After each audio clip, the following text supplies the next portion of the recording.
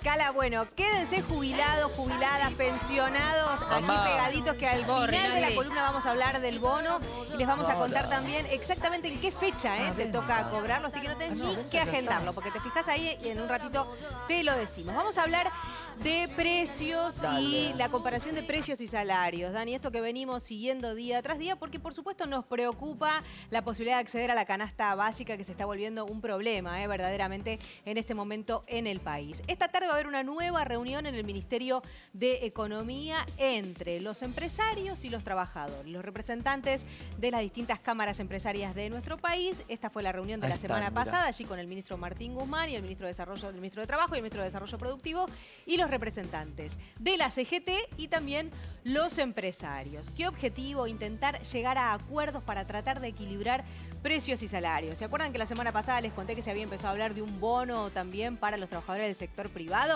Bueno, los empresarios dijeron, de ninguna manera, no queremos un bono. No queremos el bono. Vamos a ver hasta dónde llega eh, la discusión, pero no es lo único, por supuesto, eh, que se pone sobre la mesa. Esta tarde, nueva reunión allí en el Ministerio de Economía.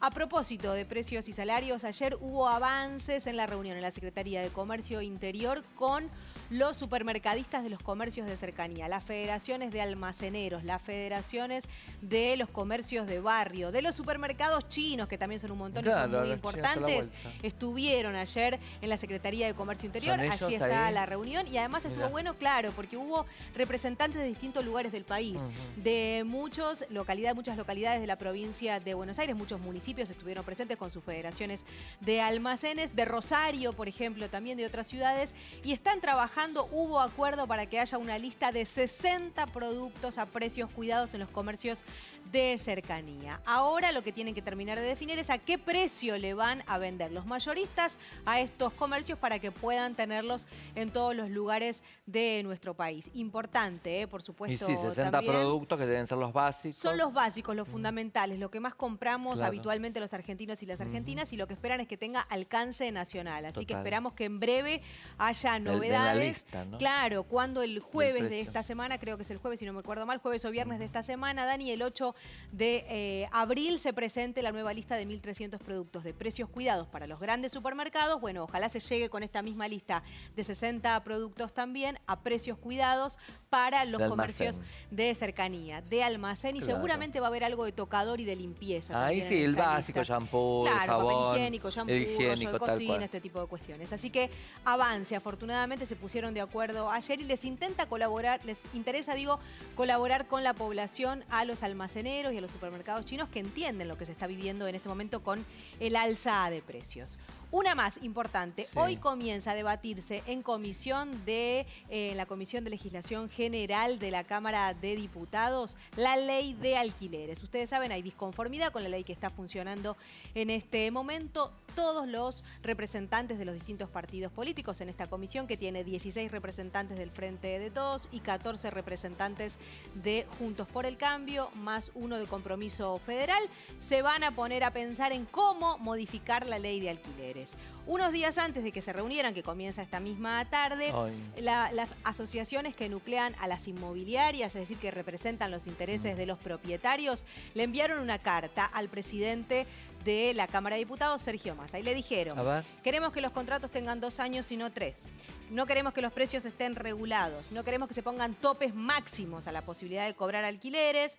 Eh, no queremos un impuesto a la vivienda ociosa. Y no queremos también que nos digan cuántas veces se puede aumentar un alquiler, sino que nos podamos poner de acuerdo con los inquilinos cuántas veces lo aumentamos. Es decir, todo para el lado de los propietarios, digamos, de lo que están diciendo los propietarios en este debate. Veremos a qué acuerdos se ¿Eso quién se lo mandó? Perdón, se lo mandó la, Cámara de Inmobiliarias a lo, al presidente de la Cámara de Diputados, a Massa, exactamente. Bueno, esto por supuesto es la voz de los propietarios, ¿no? Que están proponiendo que todo sea beneficio para ellos. Pero bueno, claro, por supuesto, dijo por ejemplo el ministro Ferraresi, el ministro de Hábitat, es indispensable que legislemos pensando en el eslabón más débil de esta cadena, que son los inquilinos. Son las personas que no tienen una casa para vivir y tienen que pagar mes a mes un alquiler. Bueno, hay dos proyectos presentados con características interesantes. El que presentó el diputado Gioja, que propone regular el precio inicial esto que contábamos la otra vez, de que quede registrado cuánto le cobraban al anterior para que no te lo puedan subir muchísimo cuando vas a iniciar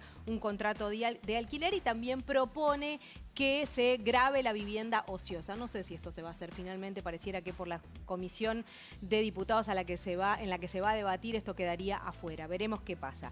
Y por otro lado, un proyecto interesante que presentó la diputada Gisela Marciota, que lo que propone es suspender los aumentos de los alquileres que queden suspendidos hasta tanto haya una nueva ley en este tiempo, en este tiempo en el que todavía se está debatiendo, lo cual sería una iniciativa interesante. Y por otro lado, también interesante, crear una Cámara Nacional de Alquileres, que sea un ente autárquico, que estén representados allí inquilinos y propietarios, también con alguien del Estado, por supuesto, y que regule este mercado, ¿no? que regule el precio de los alquileres y que regule también eh, todas las condiciones con las cuales se da la posibilidad de alquilar en nuestro país. Y que estén allí representados todos los interesados, ¿no? Bueno, veremos qué de todo Hoy empiezan a hablar. Hoy empiezan recién a discutirlo. Se tomaron, es una buena pregunta, Dani, porque se pusieron un plazo de 30 días corridos. Oh. En 30 días, en un mes. Claro, ponerse de acuerdo y emitir un dictamen para modificar esta ley que no tiene conforme a nadie en este momento. La última, importantísima, se confirmó ayer finalmente, como te lo anticipamos acá, en que mañana el bono para jubilados y ah, pensionados. Finalmente van a ser 6 mil pesos como decíamos ayer, es para los jubilados y pensionados de la mínima. Esta fue la reunión que luego en su cuenta de Twitter publicó Alberto Fernández de la reunión que ¿Eh? tuvo con Fernanda Raberta, que es la titular de Lances. ¿Quiénes van a cobrar el bono? Ahí vemos la publicación que hizo el presidente Alberto Fernández. ¿eh? Bueno, así fortalecemos el ingreso de nuestras adultas y adultos mayores. Estamos haciendo todo a nuestro alcance para cuidar a las familias argentinas. Alcanza, miren, este es el dato, ¿eh? 4.600.000 personas en el país, jubilados y pensionados pensiones no contributivas, mujeres que tienen una pensión no contributiva por ser madres de siete hijos y beneficiarios de la PUAM también, la pensión para adultos mayores. ¿Cómo va a ser? Si cobras la mínima son 6 mil pesos y hay un tope que pone esta ley o esta resolución, mejor dicho, que son 38.630 pesos. Es decir, si cobras un poquito más que la, que la mínima, que son 32 mil. Si cobras hasta 38.630 pesos, vas a cobrar el bono. Por ejemplo, si vos cobras de jubilación habitualmente 37 mil pesos, bueno, te van a pagar la diferencia hasta alcanzar, claro, los mil y piquito de pesos para alcanzar los 38.630. Me preguntaron un montón ayer, ¿qué pasa si cobro jubilación mínima y pensión mínima? No lo cobrás en realidad porque superás el tope de los 38.630 Dos jubilaciones, por ejemplo, la mujer viuda. Claro, que ¿No? con jubilación y pensión, no, si supera 38.630 pesos, no, lo, vas a lo alcanza. Todavía no se anunció nada tampoco para eh, beneficiarios de la AUH, eh, todavía tampoco, así que tampoco quedan alcanzados por esta medida. ¿Cuándo cobras el bono para vos, jubilado, jubilada de la mínima, que es un universo enorme, ¿eh? por eso les decíamos, por lo menos 4 millones de jubilados. Miren, se va a pagar a partir del lunes 18 de abril, con documento terminado en cero ese día. El martes cobran, el martes 19, los que tienen documento terminado en 1, el miércoles terminado en 2, el jueves 21 con documento terminado en 3, el viernes 22 con documento terminado en 4. Y así hasta llegar al viernes 29, te lo vas anotando ahora 25, mismo. 26, Ah, claro, el martes 26, eh, documento en 6, miércoles 27, documento en 7, jueves 28, documento en 8 y viernes 29, documento terminado en 9. ¿Qué trámite tenés que hacer? Absolutamente ninguno. Directamente en la misma cuenta donde te depositan tus saberes jubilatorios mes tras mes, te van a depositar en estas fechas que te acabamos de contar este bono de 6 mil pesos. ¿Resuelve la situación? No, por supuesto que no, está clarísimo, ¿no? Pero ayuda, es una ayudita que viene como bono extraordinario. En junio hay un nuevo aumento para las jubilaciones. Ah, la vez anterior hubo un bono así extraordinario como esta vez en abril y se replicó también en mayo. Veremos qué pasa el mes que viene jubilados y jubiladas de nuestro país. Si tienen preguntas sobre este tema, arroba Agustina Díaz TV, poquito a poco a lo largo del día les voy respondiendo todo. Cala.